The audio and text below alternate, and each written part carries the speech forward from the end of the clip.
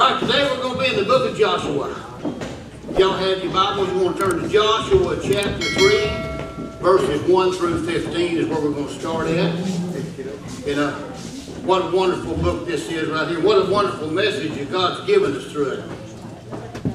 You know, brothers and sisters, Abraham was called by God to live in the land of Canaan, but Joshua was called to possess that land. He had a motive, a, motive, a, a reason put out there from, by God. And he took it seriously. It was a charge that he took seriously. And indeed, his obedience was so exemplary that at the end of his life, he was granted the title Servant of the Lord. Isn't that something?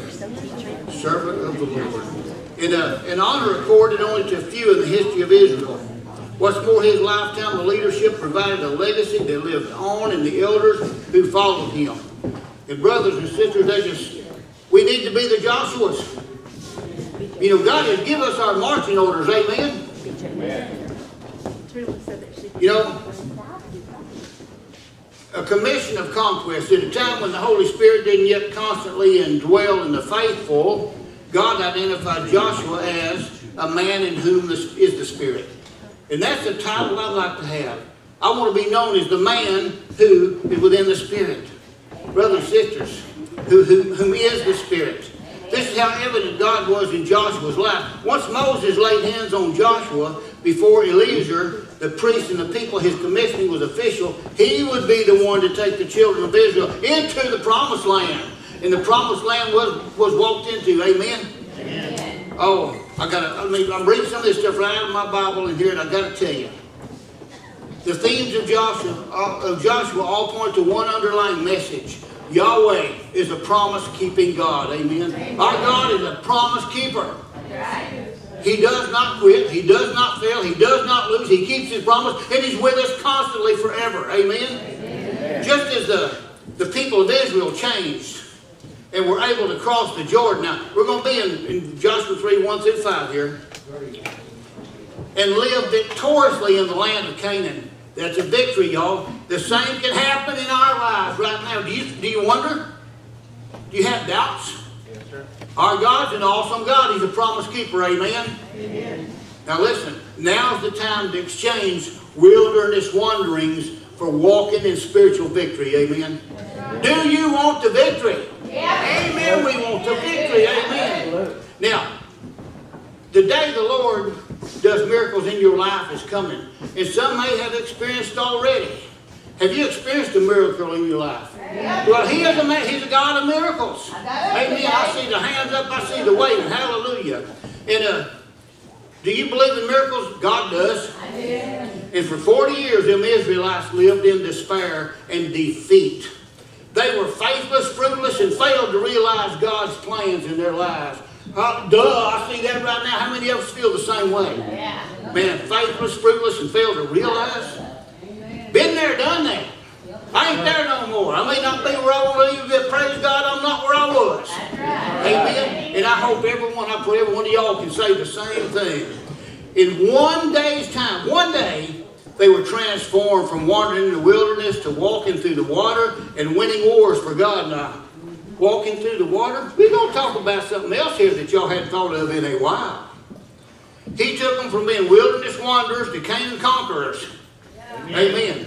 Significant and mighty things happened to the nation of Israel. Significant and mighty things going to happen to the nation of the United States. Amen. Significant and mighty things going to happen worldwide, y'all. It's coming. Amen. And I want you to be aware it's coming. I want you to be prepared for the, the war we're fighting right now is spiritual. It ain't boots on the ground so much as it's spiritual. Spiritual. And what is our weapon? Prayer. Prayer, prayer, prayer. To a God who hears our prayers and listens. Like, likewise, some of us, we've been living on a desert diet. Amen? Oh, yeah. And we've been deprived. We have not come to that place of full victory in the Lord Jesus Christ, but we're moving, ain't we? Yes, Amen. Just as the people of Israel changed and were able to cross the Jordan, conquer Jericho, and live victoriously in the land of Canaan, it can happen in our lives as well in Joshua 3. We see the river of miracles and experience, we experience the waves of God's truths. It's strong. God, our God was powerful then He, God, is our powerful God yesterday, today, tomorrow, and forever. These things don't change, brothers and sisters. Listen to me. Now is the time to exchange wilderness wanderings for walking in spiritual victory for ourselves. The first way of truth we should comprehend is the requirements for miracles. I'm going to have a four-point sermon today. The requirements for miracles. There must be a positioning. You hear me? A positioning of Christ in your life. In Joshua 3, verse 3, and they commanded the people, saying, When you see the ark of the covenant of the Lord your God, with a Levitical priest carrying it, you shall set out from your place and go after it. You go after it. You follow it. Amen? Amen. For 40 years, 40 years the nation of Israel had possession of the Ark of the Covenant. And in Joshua chapter 3, the Ark of the Covenant is mentioned 10 times. 10. Well, what's different now? What's different now? The nation of Israel had gone from simply possessing the Ark to positioning the Ark. For 40 years, everywhere they went, the Ark of the Covenant followed the nation of Israel. Now they're going to follow the Ark. They put it first, amen? amen? Before they had possession of it, now they have positioned it. Have you positioned God in your life? Yes. Woo! You, you smell what I'm sipping in? Yeah. This is awesome, y'all. This is words from God to tell us if we want the miraculous power of God to be manifested in our lives, we must make him the master of every area of our lives. Amen? Many times we treat the Lord like a hitchhiker. And some of them, I seen a few heads come up. What are you talking about, Pastor Tater? Well, we pick him up and we put him in the passenger seat. But Jesus wants to be the driver. Amen? Amen. He wants, when we make him the master of our lives and let him drive, We'll want to go wherever he goes. We want to follow. We want him positioned in front of us. Amen. The Ark of the Covenant is a type of the Lord Jesus Christ. You know what was in the Ark of the Covenant? Let me tell you right quick. Manna was one thing. It represented the provision of Christ, for he is the bread of life. Amen. Amen. What else? Aaron's rod that budded, which represented the resurrection power of Christ. And the Decalogue, which represented the perfection of Christ before Jesus, never because he never once sinned, not once. Isn't that wonderful? Isn't that powerful? Isn't that awesome? And then most of all, he contained the mercy seat. The mercy seat which represented the pardon of Christ. God had a design, a direction, and a day for the children to move across the Jordan and into the land of Canaan. God also had a direction, a design, and a day for his people to move into the land of victory, abundance, and revival. Are we not his people? We are his people, brothers and sisters. We're his children. We need to get into Canaan and experience the miraculous power of God in our lives. Woo, keep on trucking. We got our marching orders. We need to go wherever God goes. Amen. Amen. Come on now. Let me hear you. We need to come to the place in life where we follow Jesus and quit trying to make Jesus follow us. Yeah. We must always love God more than our gold and our Savior more than our silver, brothers and sisters. We must love Jesus more than our jobs. And that's a downfall for many people. Their jobs are coming first. Their jobs are taking precedent priority over God. We must, we must love Christ more than our cash. We must love the Lord more than our lands. We need to love God with everything we have. First, put Him in front, follow God. Amen? Amen. There must also be a purifying, a purifying of Christians. In Joshua 3 5, then Joshua said to the people, consecrate yourselves. Y'all see it up there? A time existed when Christians seemed more conscious of fleeing the things of the world. There was a time when they didn't pay that much attention, didn't want to be into the things of the world. It appears now, and I see this, you see this, and it's undeniable. It appears we want to please man and appease God. That's not the way to do it, brothers and sisters. That's not going to work. We don't want to be too fanatical, too excited, or too different. Yet Joshua said to the people, consecrate yourselves. Be different. That's what I'm talking about. I'm, I'm, I'm different. Y'all can tell. I'm different. But I popped out, my mama said he's different. and I've held to it ever since. Praise God. Amen. Amen. We too need to sanctify ourselves in our hearts, in our minds, in our homes, in every area in our lives in the sight of God Almighty. Do you agree? Amen. Too many times we treat Jesus like a spare tire. We only call on him when we only have times of difficulties and problems when, we, when we're flat. Amen. Later, we put him back in the trunk. How about that? And we think we'll call on him when we need him again. Yeah, he's there. We just call him when we want him. We should not presume upon the goodness, grace, and greatness of God. Amen. Amen. We're to live a daily life that is pleasing to Christ. And daily, we are to sanctify our hearts and our lives before God Almighty. Amen. Before we're ever going to be powerful to God, we must first be pleasing to God. Now that ought to hit home. That ought to go down deep. Are you pleasing God? Are you pleasing to God? We come. We got to come to a place where we can purify our lives in the sight of God and let Him take us to the river of miracles and place us in the land of abundance, blessings, and victorious Christian living. And that's coming. You know, there's going to be a time when there's a new world order. There's, one, there's going to be one world order. That time ain't yet. It's not their time yet. It's not the, the enemy has been defeated. But that day's coming, but not now because God's going to, He's going to, He's going to revive this land. I know He's going to revive. Second Chronicles 7.14 says that because we have humbled ourselves. He seeked our face. We've repented for we confessed our sins. Amen. He's going to cleanse our land. Israel and the United States, He's going to, it's going to be rebuilt. It's going to come down. It's going to be good. He's going to take care of it. He's running out the evil. He's taking care of the corrupt right now. That's a promise from God. It's not the end day. We're in the end times. But there's going to be a revival in this country, in this nation. And it's not just the United States, it's not just America, it's worldwide in the nations, brothers and sisters. God is God over all nations. All nations. Not just ours, but we are favorites with Him. Amen? God in Israel. Woo!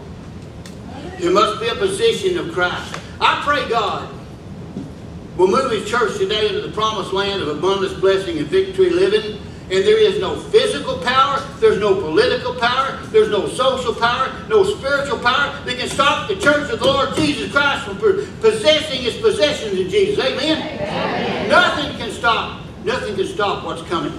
now, I'm going to get down to another one. The realities of miracles. Tomorrow, in, in 3 5 says, Tomorrow the Lord will do wonders among you. Ho ho! When's tomorrow? It's coming, amen? amen? That's a promise he made. And he showed his people earlier. He'll show his people now. You won't have any problems dealing with the miracles if you believe in God.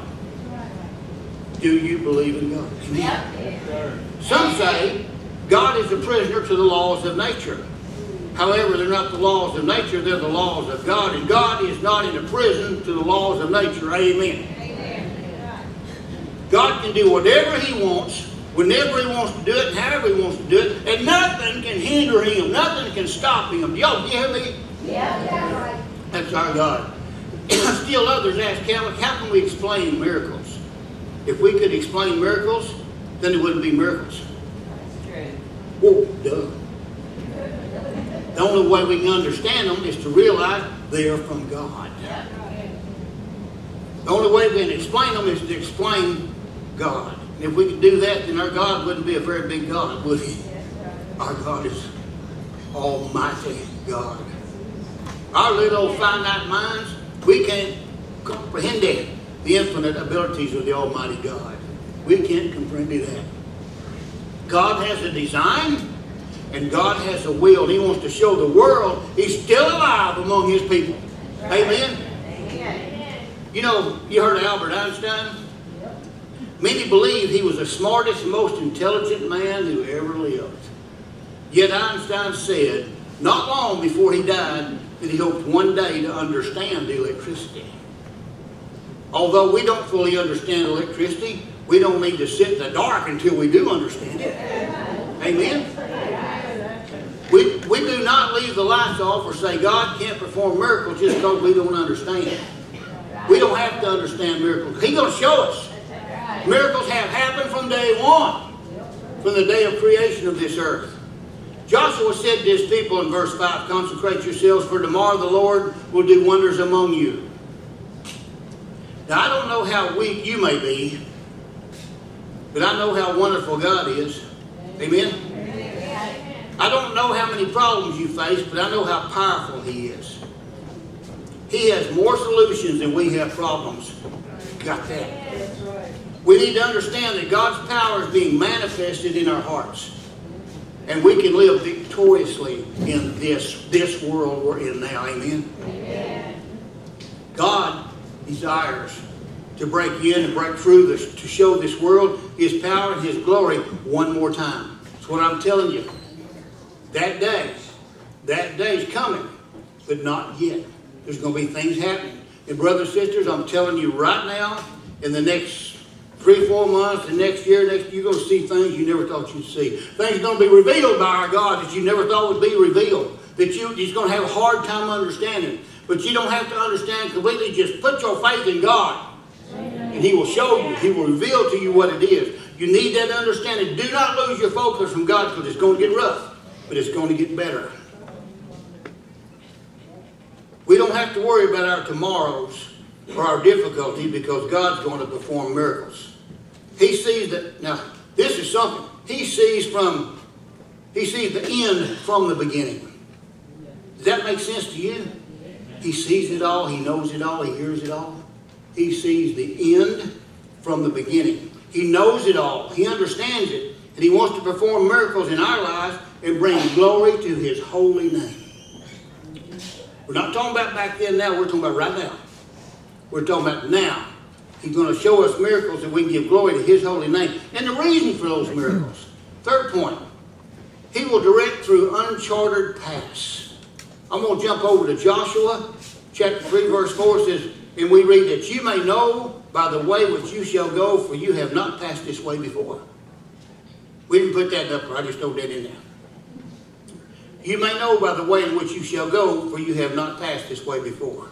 And Joshua was saying, we need to follow the ark because we have never been this way before. Amen? Amen. We have not, brothers and sisters. We need to follow the ark if we're going to go through Jordan into Canaan. We must keep our eyes on Jesus, not the water of worry, but on the ark, the Almighty.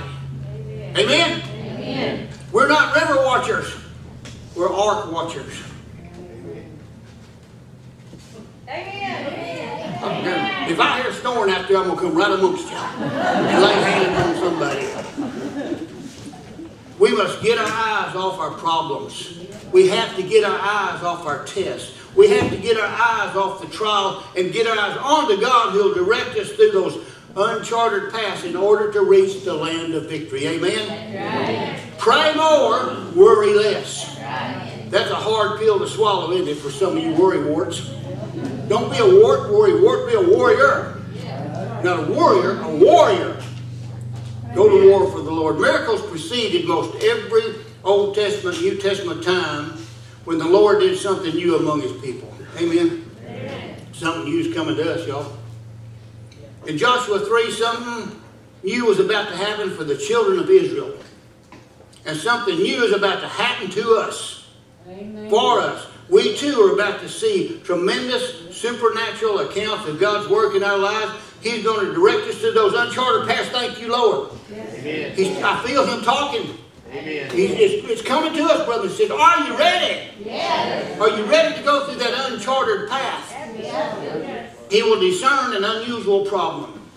In Joshua 3 7, it says, Now the Lord said to Joshua, this day will I begin to exalt you in the sight of all Israel, that they may know that just as I have been with Moses, I will be with you. God telling you, brothers and sisters, just as he's been with them, he's going to be with you through it all, through every moment, every breath. Amen? Amen. That ought to get you excited. God simply said to Joshua, he was going to confirm his word in Joshua's leadership. Amen. That's our God talking. The world needs to be shown the fact that the Word of God is real. Right. The Word of God is relevant. That's right. And the Word of God is resourceful. Yes. it is. God will help and strengthen and save and heal all who trust His Word. Do you need some of that? Amen. Amen. He'll confirm the preaching of His Word. He will discern for us an unusual problem. And here, here, listen to me. He will demonstrate an unstoppable power. That's our God. Amen. In Joshua 3.10, we read, Joshua said, By this you shall know that the living God is among you, and that he will assuredly dispossess from you before the Canaanite, the Hittite, the Hivite, the Perizzite, the Girgashite, the Amorite, and the Jebusite. There's a lot of ites in there, isn't there? Woo, but he's telling them all. He's telling the way it is without fail. Without hesitation, without fail, God will drive out everything that is in the land, everything evil. God will drive out the Canaanites of carnality. We got it. He'll drive out the high Hittites of hurt. He'll drive out the Hivites of hate, the Perizzites of pain, and the Girgashites of guilt, the Amorites of anxiety, and the Jebusites of jealousy. God will drive out all, oh, amen, so we can car slate, y'all. That's our God. And He can do it. He will do it. We ain't seen with nothing yet. When nothing can stop what's coming. That's right. And the Lord Jesus Christ, He is an unstoppable power. Oh, He promised to clear the way for His people to enter Canaan. Didn't he? Yes. He wants us to have the victory in every hour of our lives. And this will be done through the miraculous powers of God. Amen. Amen. Shout hallelujah. Hallelujah. Amen. Jesus. now I'm going to tell you about the rewards woo, of the miracles. The rewards. So far we've learned the requirements. We talked about the reasons. We talked about the realities. And we wrap this message up pretty close to encourage you with the rewards of miracles. It's all to make you want to slap your grandma. Look up there. And Joshua, wait a minute, I'm just kidding. In Joshua 3, 13 through 15. Grandma want to slap you.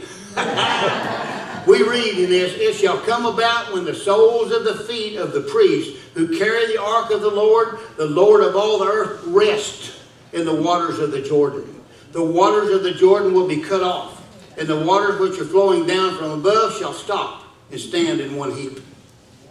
So when the people set out from their tents to cross the Jordan with the priest carrying the Ark of the Covenant before the people instead of behind. And when those who carried the ark came to the Jordan, the feet of the priest carrying the water, the ark, were dipped in the edge of the water, for the Jordan overflows his banks all the days of the harvest. When the priest, the Levites, stepped into the river Jordan, the waters stood up in a heap. The waters were stopped. Stopped. Even past the city of Adam. The priest went into the middle of the mighty Jordan River, then every man, every woman, boy, and girl passed through the divided river. Does that sound like another story? Yeah. Woo! When Moses crossed over? Yeah. As they all passed through the river, where did they find the ark? They found it in the deepest part of the river. Found God in the deepest part of the river. In the deepest, darkest times, when we feel alone, brothers and sisters, the Lord Jesus can be more real to us than ever before. Amen. I can feel it. He'll be with us in the middle of our problems. He'll be with us in our pains, in our difficulties. And there we will find the ark. Amen. There we'll find Jesus because he will be real to us and real to his people. He'll be there to give us victory. Amen. Amen. God will be just as real to us as when we worship him in the church. Woo! Woo! Where are we at? Who's the church? We're the church. Amen. We are. God specializes now, Master, in taking his people through. Every person must pass through the river on the way to Canaan. Every person. If we want to enter the land of abundance, if we want to conquer our Jericho, we must cross our Jordan. Jesus will be there rewarding us with his miraculous power and with his loving presence. God delivered the Israelites through an unconquered problem. And they went through the river and they found the ark. Are we going through the river and we find the Lord? Yeah. Mm-hmm. He'll not only deliver us through unconquered problems, but the miracles will also be the door. The miracles will be the door for unclaimed promises. I claim Jesus Christ as my Savior. I claim the authority He gives me. I claim the gifts He gives me. I claim the love. I claim the grace and the mercy that Jesus has given me. Amen. I claim it. You claim it yourself, brothers and sisters. He's given it to you. Claim it in the name of Jesus. Forty years, them people in Israel wandered in the wilderness. But on this day, the miraculous power, through the power of God, they were able to claim God's promise and we're able to reach out by faith and claim the promises of His Word. I claim it. I claim it in the name of Jesus. The river became the door to the promised land. Amen? Amen. Just as God took them through the river by His miraculous power, He will also take us into the promised land of victorious Christian life. Amen? Amen. In 1 Thessalonians 5.17 it says, pray without ceasing. That's our powerful tool. Pray without ceasing, brothers and sisters. Pray when you're driving to work. Pray when you get up in the morning first. Pray when you're driving to work. Pray when you're at your lunchtime, wherever you're at. Pray when you get this difficult phone call. You can pray God. He hears you. He hears you. Pray when, the, when on surprises, good or bad. Pray to Him on your triumphs. Pray to Him on your defeats. Pray to God. We have that power and authority. Mm.